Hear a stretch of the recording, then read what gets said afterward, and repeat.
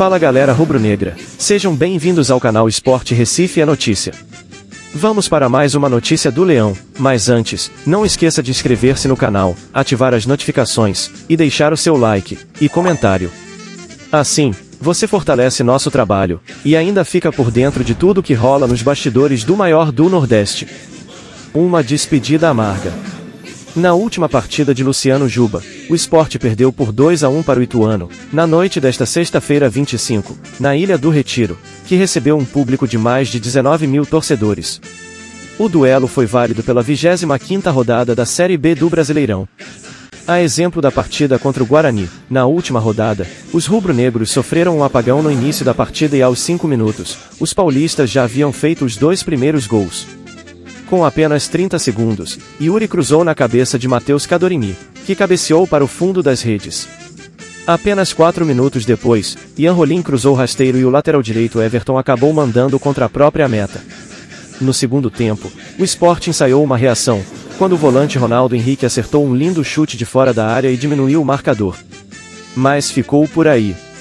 Com o resultado, o Leão se manteve na vice-liderança com 45 pontos, mas pode ver o Vitória abrir 5 pontos, caso vença o Atlético Goianiense, próximo domingo 27, em Goiânia. Para piorar a situação, o esporte pode cair para a terceira posição se o Novo Horizontino, que é o quinto com 42 pontos, vencer o CRB, este sábado 26, em Maceió. Com o contrato prestes a encerrar no final de agosto, Luciano Juba falou pela primeira vez sobre sua despedida do esporte. Mesmo tendo participações diretas em 38 gols do Leão na temporada, o atacante de 23 anos, que é cria das categorias de base do Leão, foi vaiado por parte da torcida, mas recebeu o apoio de seus companheiros ainda no gramado. O atleta, que atuará pelo Bahia pelo restante da temporada, expressou gratidão pelos momentos vividos no rubro-negro, se declarou torcedor do Leão e prometeu torcida pelo acesso ao deixar o campo. É, primeiramente, quero agradecer a Deus por por tudo que eu vivi aqui dentro desse clube, o clube que, que me abriu as portas e é, pude chegar aqui no, na categoria sub-20. Graças a Deus pude realizar meu sonho, que era ser jogador profissional é, do esporte. E Deus só, só fez coisa maravilhosa na minha vida através desse clube.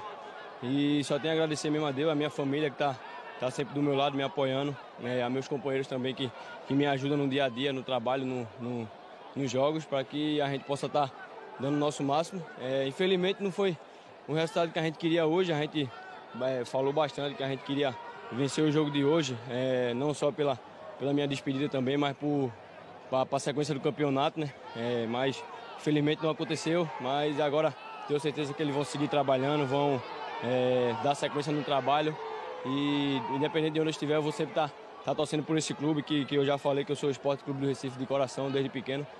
E independente de onde estiver, eu vou estar tá torcendo por eles e é, espero que eles possam no final do ano estar tá conseguindo o principal objetivo da temporada, que é o acesso para a Série A.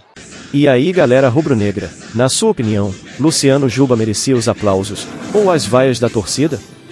Deixe sua opinião nos comentários, pois ela é muito importante para nosso trabalho. E não esqueça de inscrever-se no canal, ativar as notificações, deixar o like, o comentário, e compartilhar o vídeo.